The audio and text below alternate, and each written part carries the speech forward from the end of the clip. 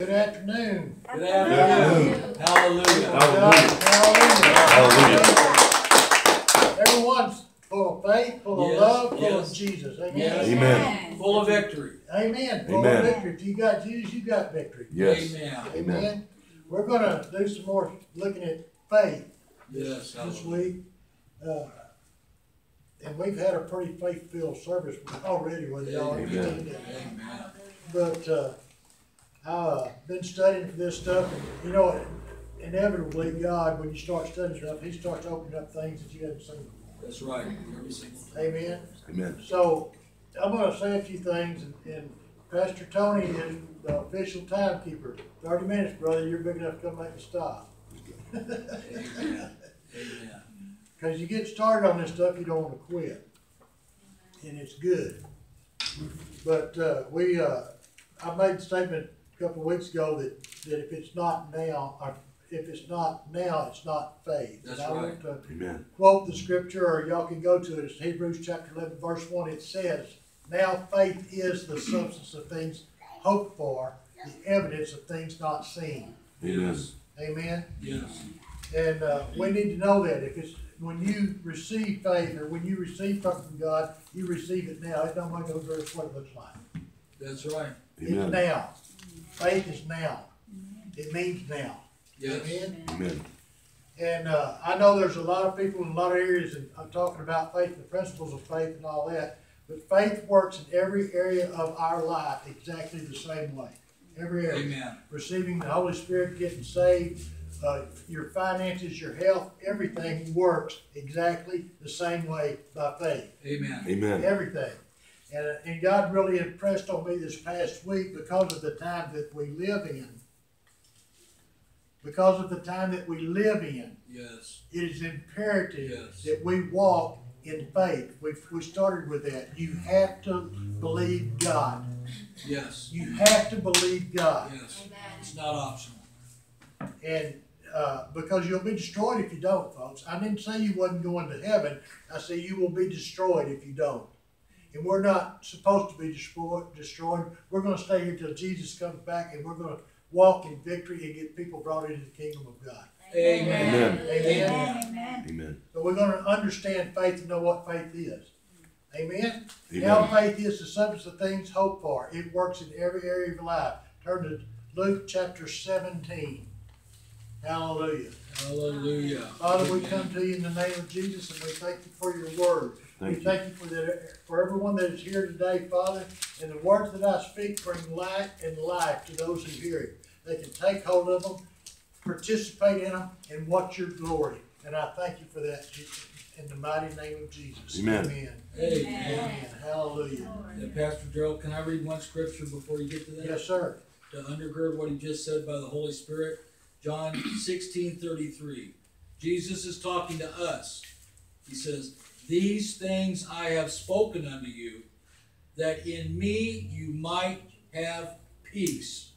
In the world you shall have, not might have, in the world and its system you shall have tribulation. But be of good cheer, I have overcome the world. Amen. Amen. Amen. God doesn't want you beat up, destroyed, overcome. That's right. This world's going to get beat up, destroyed, and overcome.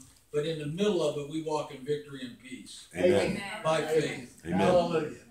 Hallelujah. And I'm telling you, this prayer time and what God's been showing me this week and, and studying this stuff, it's just, I mean, faith has just been poured out. Hallelujah. Amen. Amen. You understand? Yes.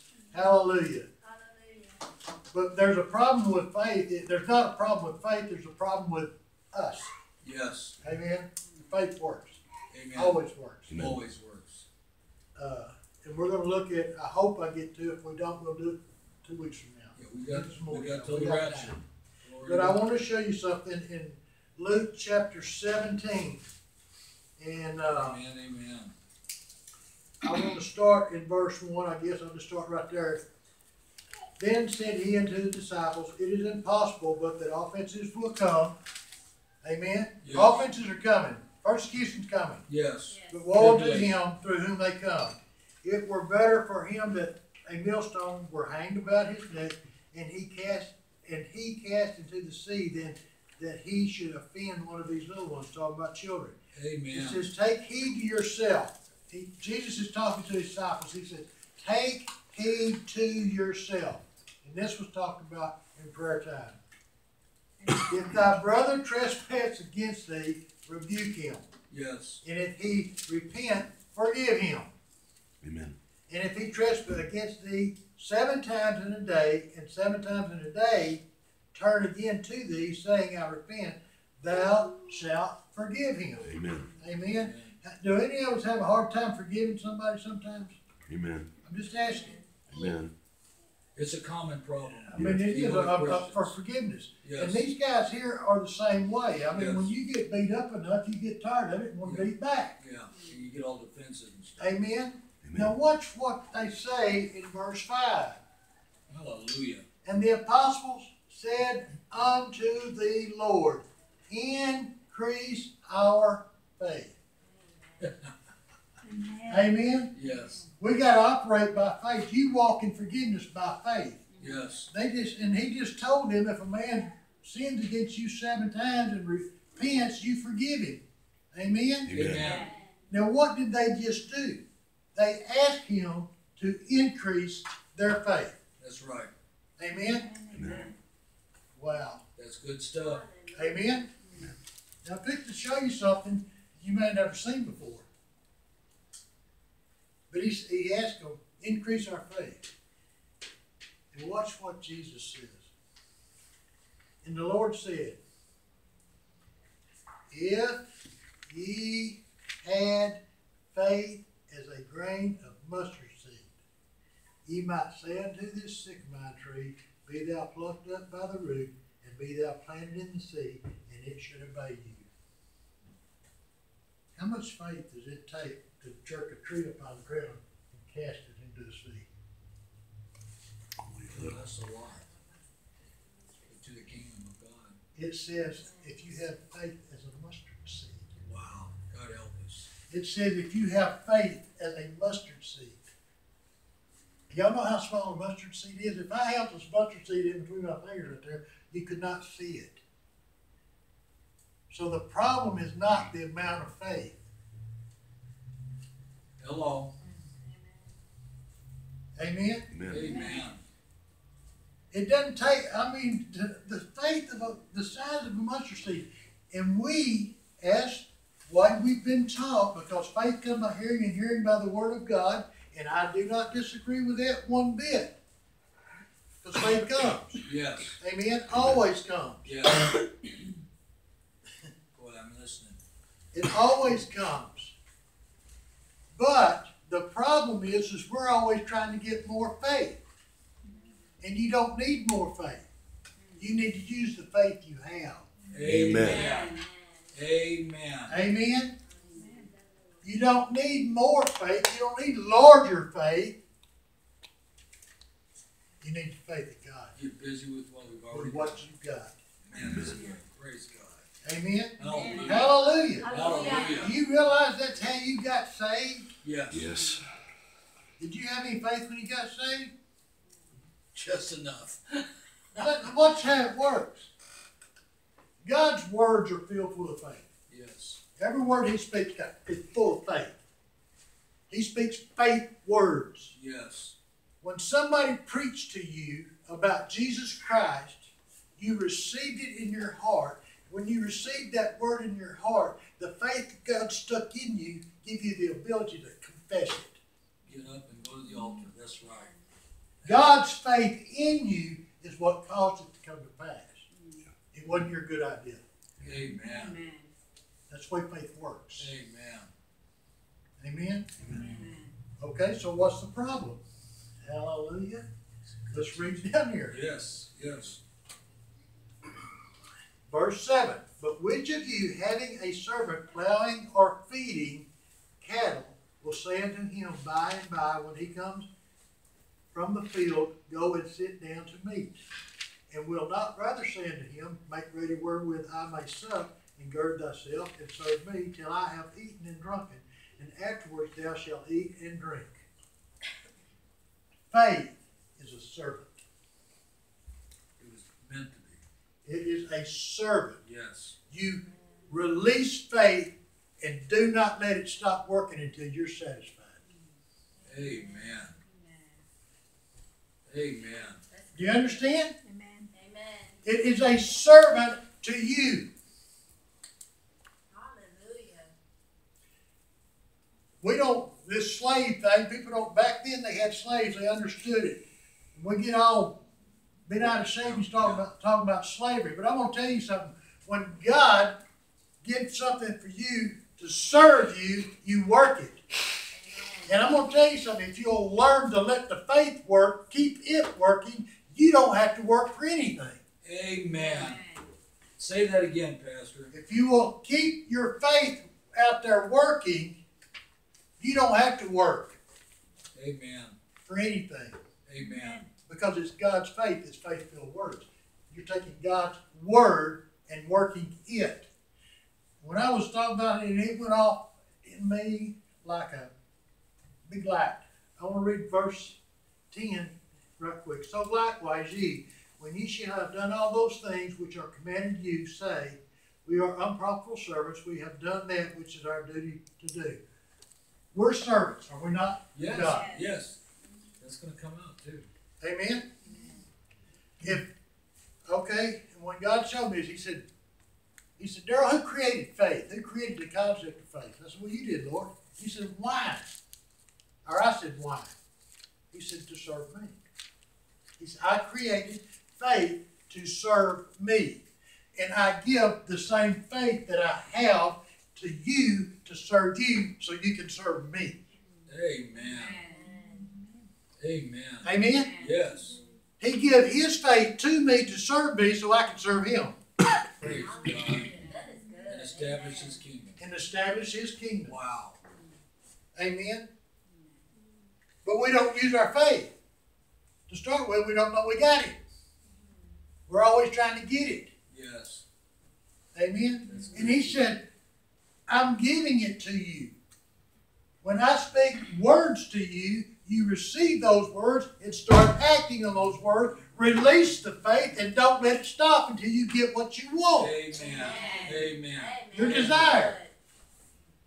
And I guarantee you, both in the body of Christ, most people, and there's nothing wrong with it, particularly in, in, unless it becomes your only goal, is about money. Hello. And it says right here that we're servants of God. You made mention of the fact a while ago. Like Pastor Darlene is serving God, praying for her. Her behalf. Yes. And she's praying in faith, wanting to know so she can pray in faith that it affects you. And keep it working. And keep it working. You don't let it go. Amen. Till we You see don't the let it go.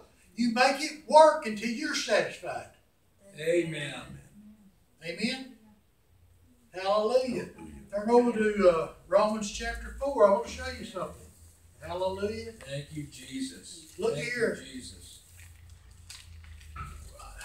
We talked about seed faith, little faith, great faith. Yes.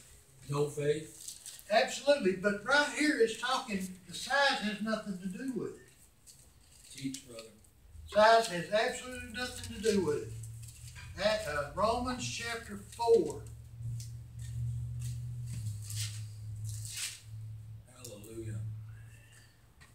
I want to look in verse.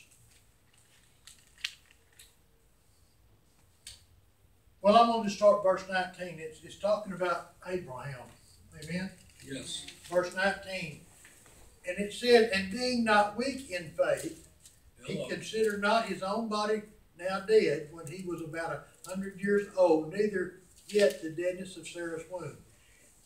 Right there it says, and being not weak in faith. It didn't say the faith was weak, it said he was not weak in his faith. Amen. Is that, do you understand that? Yes. It doesn't say the faith's weak, but he was not weak in it. Amen. Say that again. That, that needs to be real clear. Amen. The faith, there's nothing wrong with the faith. He was not weak in the faith that he had. Amen. He knew how to use it. He knew how to use it. He knew how to operate it. He knew how to make it serve him. Amen.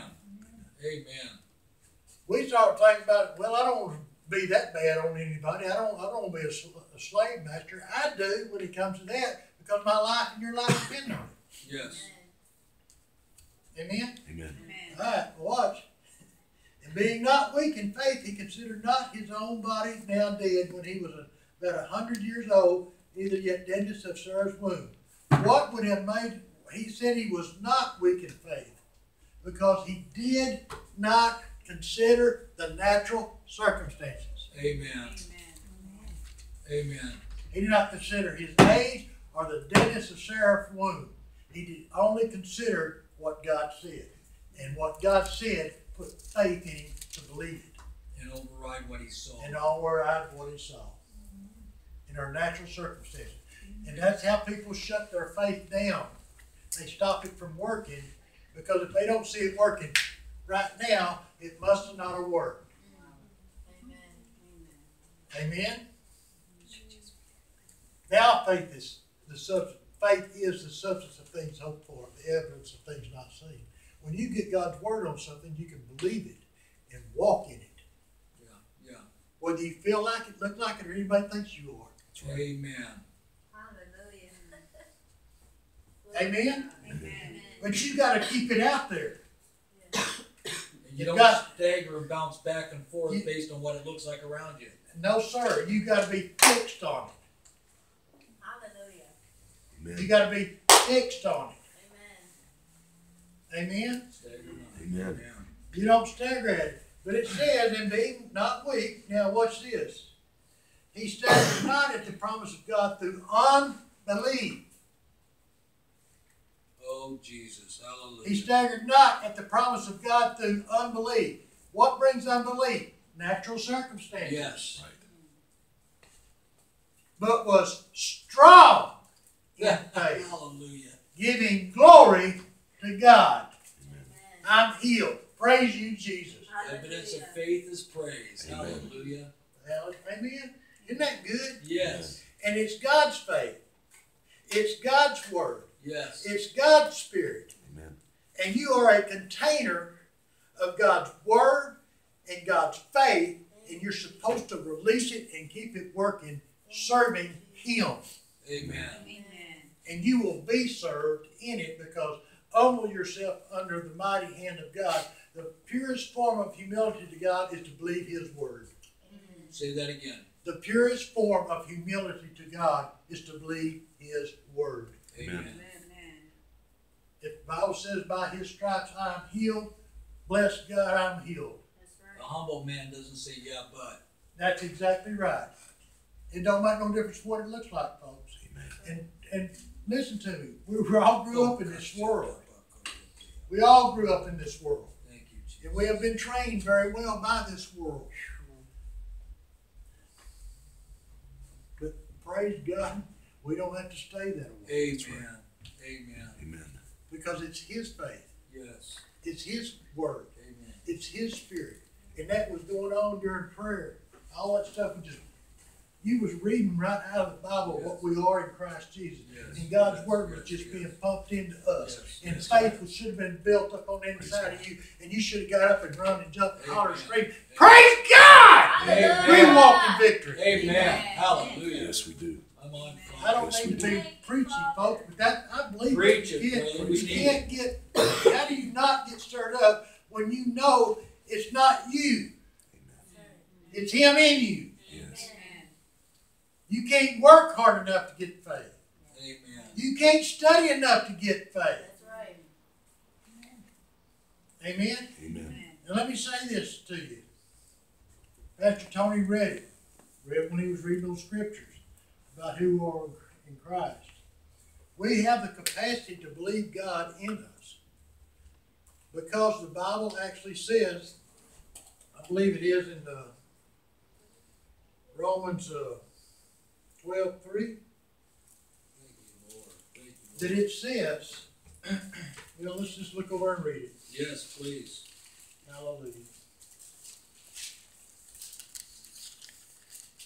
Romans 12 3, it says, Paul says, For I say, through the grace given unto me to every man that is among, among you, not to think of himself more highly than he ought to think, but to think soberly, according as God hath dealt to every man the measure of faith. Period. Amen. And it says, it says in the starting of the verse, be to every man that is among you. He's talking to Christians. The world doesn't have this faith. Amen. Amen. Why? Because they don't believe God. They haven't received Jesus. They haven't received it. Amen? Amen. But we have the measure of faith. And let me share this with you. If it said a measure of faith, we could expect more. But it doesn't. It says the measure of faith. That's like Jesus being the Son of God. Right. There is no other but Him. Amen. He is the high priest. He is the king. And this is the faith of the king Amen. that is Yes, deposited yes. in you. Yes. Amen. Amen. Amen? Amen. And we are supposed to just walk in it. Yes. Amen. Yes. Amen? Amen. How much time I got, brother? Fifteen Done. minutes. Can I can I expound on something real quick? yes, sir. You said if we let faith work, we'll never have to work. That's exactly right. It's. I just want to redefine it. Redefine it. Yes, in, in one in one quick thing, so that people don't get confused. Because you do, if you don't work, you don't eat, Right. and if you don't work and take care of your family, you're worse than an infidel. That's not the kind of work he's talking about. If you let the, the if you let faith work, faith works, then what you're doing is you're redeeming yourself from the curse in the garden. When man was cursed, God said, By the sweat of your brow you will toil. So if you let faith work, you never have to toil another day in your life. Work doesn't become toil and dredge, it's just a, it's a ministry. Right. Amen. You understand the difference? Amen. So you still go to work, but instead of toiling, you're ministering. Mm. Right. Amen. Right. And, and thank you for that, Pastor. And that when I when I said that, where I was at is you're not working of yourselves. That's exactly right. That's exactly. You're walking in what God has already provided. Yes, amen. Amen. Amen. Yes, God's already provided it. You don't have to work to try to get it. that's right. You you receive it by faith. You receive it by faith. And, but when you receive it by faith, then you gotta release it by faith. Absolutely. Amen. Good teaching. Praise God. Amen. And it's not you doing the works, it is Him in you. Amen. Amen. It's that servant doing it. Yes, absolutely. Praise God.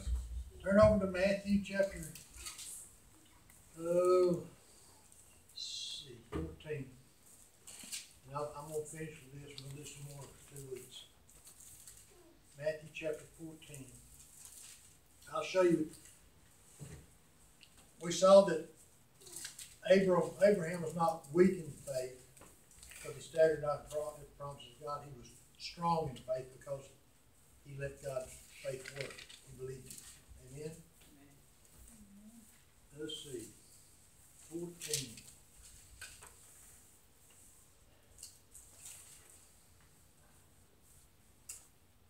Start verse twenty-two. And, and this, Jesus had just preached a sermon, and fed five thousand people, and went up to them, he sent his disciples to the other side of the sea, and he went up to a mountain to pray. Amen? Amen. And straightway Jesus constrained his disciples to get into a ship, in verse twenty-two, and go to, go before him unto the other side, while he sent the multitudes away. And when he had sent the multitudes away, he went up into a mountain, a part from, a part to pray. Pastor, uh, Teresa's been talking about prayer. Yes. Pastor's been talking about prayer. Yes. And when the evening was come, he was there alone. But the ship was now in the midst of the sea, tossed with waves, for the wind was contrary. The ship's out in there and the wind's blowing. Amen? Amen. And Jesus is praying. And in the fourth watch of the night, Jesus went unto them walking on the sea. Now I want to share something. Stop right here just a minute. When Jesus, he got up there and prayed, the wind was blowing, the waves were tossing, and he comes walking on the water. He did not he'd been praying and God told him to go to the other side. He did not consider the water. He did not consider the waves. He didn't, get- or, or the wind or any of that. He just started walking. Amen. Amen. You understand? He didn't consider any natural circumstances at all. He just started going where God told him to go. Amen. Hallelujah. Isn't that good? Yes. Is he not our example? Yes. Yes. Pastor's been talking about sanctifying and consecrating a place to spend with God and pray. Enough that'll get you there. Amen. Hallelujah. Amen? Do y'all believe that? Yes. Yes. I mean, do you believe that? Yes. God just Amen. spoke it. Hallelujah. And it, if God spoke it, there's enough word when he spoke to put faith in you that you can do it. Amen. And when the disciples, verse twenty-six, saw him walking on the sea, they were troubled, saying, It is a spirit, and they cried out for fear. But straightway Jesus spake unto them, saying, Be of good cheer, it is I, be not afraid. Amen? They, they saw a spirit, a ghost, they were scared. And watch. And Peter answered him and said, Lord, if it be thou if it be you or be thou, bid me come unto thee on the water. Now he asked him a question. What's Jesus supposed to tell him? No, it's not me, stay in the boat. He kind of backed Jesus into a corner. He said, Lord, if that's you, bid me come, and I'll come. That's that's true because one one place it says Jesus was walking on the sea And with the intention to pass by. by. Absolutely. That's good. But Peter says, he puts him in a bill. Well, Jesus is not going to lie to him. He says, come. Amen. Amen. Watch this. Wow.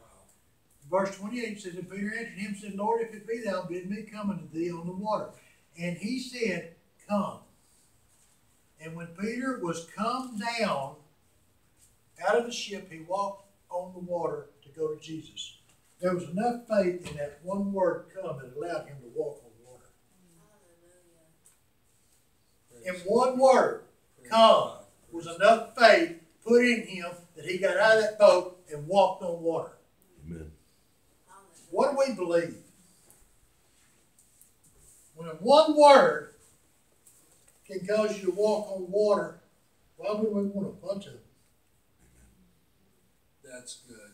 That's good. Because of doubt and unbelief. And if the seed, the faith the size of a mustard seed can cause you to jerk a tree up and throw it in the ocean and make it be planted there, why do we want to doubt that we don't have any? Or why do we doubt that we have That's good teaching. That's good teaching. Thank you. Amen? Amen. Because God give it to you. And we refuse it. Because we look, do the same thing that Peter did. Watch. But when he saw the wind boisterous, verse 30, he was afraid. And begin and beginning to sink, he cried out. He cried, saying, Lord, save me. When he saw the wind boisterous, he was afraid, and beginning to sink, he cried, saving, saying, Lord, save me. When he started recognizing and look, the wind was blowing before he ever got out of the boat. There was a period of time from the time that Jesus said, Come, that he got out of the boat, that he paid no attention to the wind. Amen. But when he saw the wind, and I'm not supposed to be able to walk on water, he began to sink. And what did Jesus say? O thou of little faith, wherefore didst thou doubt? There's nothing wrong with his faith. O thou of little faith, is he, he sucked his faith back into him because of circumstances. Amen. Fear. He shut the faith down. He stopped the faith from working because of what he saw. Instead of going ahead and going to Jesus. And he had sense enough to know that when he got in trouble, he could cry out to Jesus and Jesus would reach out and take him by the hand and and save him. Amen? Amen. But until we learn to quit looking at circumstances and get in a place where we can pray and separate ourselves to God, to where we know that we know your life will be up and down in the ways Yes, all it the time. will, yes, it will. all the time. My son-in-law and I was up till one thirty this morning talking about some of this stuff and other things in general. Y'all really need to understand this. I got two minutes? Well, that went by in a hurry. And y'all really stop thinking about it. And it, it's just me, it's what I've learned, it's who I am. I do not believe in any gray area. Everything is either black or white. There's nothing in the middle. Amen. Amen? And I don't believe there's anything in the middle with God. God is God, He who He is, He says what He says, and He's not gonna change. You never have to wonder about God. Amen. But most people live in a gray area. That's so true. between black and white, and they live in a gray area where you, they never know what's right and what's wrong. They never settle into anything. And you go to the book of Revelation, talk about being either be hot or cold, but lukewarm. He said, "I'll spew you out of my mouth." That's a person that lives in that gray area. You don't have to live in a gray area with God, because His Word says, and what He says, He means, and He will keep it just like the prayer of Jabez. Amen, amen. The man prayed to God and asked, and God granted it. And he never, that's all you, that's the only place in the Bible you'll find Jabez, You know, those two scriptures. Wow. God said you're healed, walk in it. Amen. God says you can do all things through Christ who gives you strength. Don't be weak. But it's all gotta be done by faith. That's good preaching. Thank you, Lord. It's all gotta be done by faith. And faith is the substance of things hoped for, the evidence of things not seen. And if it's not now, it's not faith. Amen, Amen? amen, We'll do it again in a couple of weeks. amen. Hallelujah. Hallelujah. Hallelujah. Thank you.